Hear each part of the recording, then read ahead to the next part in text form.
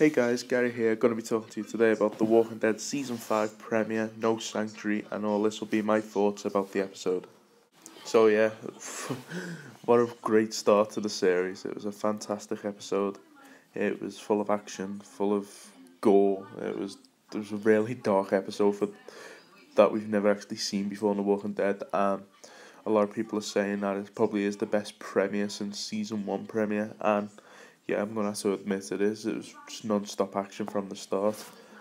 We have um, we have Carol who did this episode was more like Rambo when she got herself messed up in blood all over her so that she could blend in with zombies. She put mud all over her face so like it's a camouflage. It was just like one of like the best things ever. Just just if you think back to season one and just see how rubbish she was then compared to now, just an amazing character development, and I think it's amazing the way she can change a character like that because she has now become probably one of the best characters and most badass in The Walking Dead. You can tell like that all the stuff with Lizzie and Mika when she had to kill Lizzie has made her cold just because the way she killed Mary, shot her in the leg and like, fed her to the walkers I think I thought that was pretty dark and she showed like no remorse really, Carol, which is really probably one of the best things. Um, so yeah, the episode started off in with them all in a train cart and like making weapons out of the belts and zippers and whatever they have, whatever they could find, bit of wood.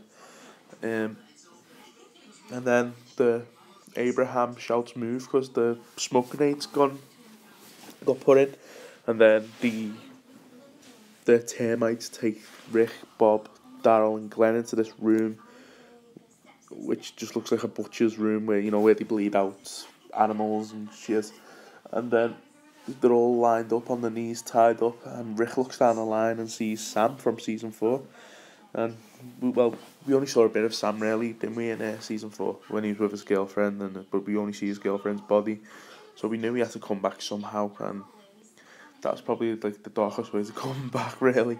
Uh, whack across the head and slit the throat. I'm gonna tell you though, in, in that scene, I was that was dark for The Walking Dead, and it was one of the scenes where I was um, where I was like worrying there for characters like Bob and Glenn and Daryl. I really thought, oh shit, I reckon I'm not good. I reckon I'm gonna take no prisoners and just slice one of them anyway. And then Bob gives his little speech, and then next minute he hears gunshots and panic, which is actually Carol, and and then when Gareth goes off to investigate, uh, Rick manages to kill one of the uh, termites and then kill the other one to break out. And oh, that's just when the shit really went everywhere. you could tell like he was dead serious when he said, "Don't let them turn," because you just know how sick these people were. It's just, I just, it was like. It was every man for themselves, basically, where the walkers got involved as well outside. And I love the way Rick snatched that guy's gun and shot down the rest of the termites and oh Jesus. And then you'd have that um, fella from the flashback at the end uh, who raped all the women and shit. Glenn heard screaming in the container and he opened the container and it was him. So that was a bit uh, it's a bit of a fun one that like they kept them alive and they just must have tortured them and everything and he didn't last long. He got bit. Glenn had to like put him down type thing it was, um, it was a weird one. And then one of the most intense and probably darkest threats of the whole episode had to be uh, Tyrese and the fella and the baby. Well, Tyrese is like gone through, is going through this thing where he's not killing anyone or he needs to snap out of that. Like, but you know, he's still traumatized probably from the whole Mika and Lizzie incident. But yeah, as soon as, as soon as that guy said, um, I'm gonna kill the baby and that. You just knew. You're gonna you're gonna have to think oh shit Tyrese. And then when he told when he managed to get hold of the baby and told Tyrese to go outside I thought oh fuck this Tyrese is gonna die here. And then he uh, he went super badass and killed the walkers and came in and beat the shit out of that fella. I thought that was pretty impressive. Yeah we have um and then after everything stops and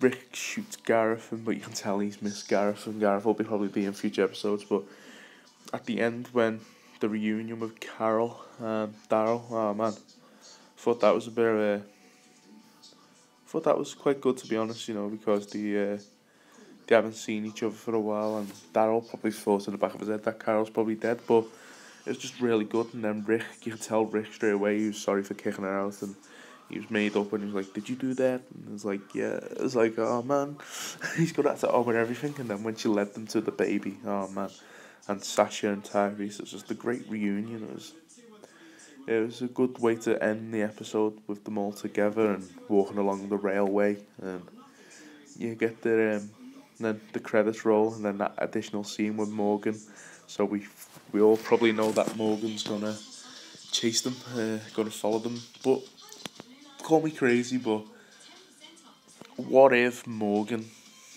is a termite I know that sounds stupid but what if he's being held at terminus and he is leading breadcrumbs for the termites. People are going to say, oh no, that's stupid, that's stupid, but last time we saw him, he wasn't in a great mindset, so they couldn't manipulate him. They could have done anything really, you know what I mean? so yeah, that's um, I've got probably, yeah, I think next episode's to be amazing, Father Gabriel and that. I've got good hopes for this season, as I do always with The Walking Dead. Uh, let me know what you think, like and subscribe, thank you.